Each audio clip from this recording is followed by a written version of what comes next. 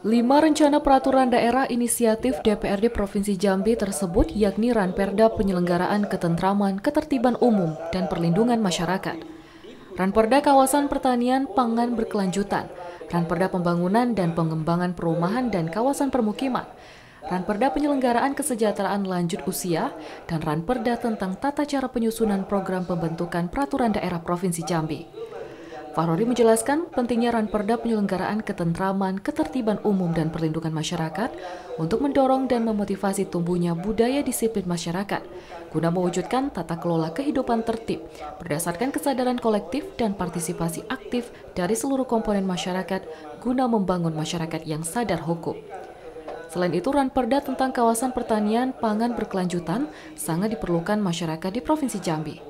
Lebih lanjut, Farori menjelaskan, pemerintah berkewajiban memberikan perlindungan tempat tinggal yang layak dalam lingkungan yang sehat, aman, serasi dan teratur, serta menjamin kepastian bermukim. Abdul Manan, TVRI Jambi melaporkan.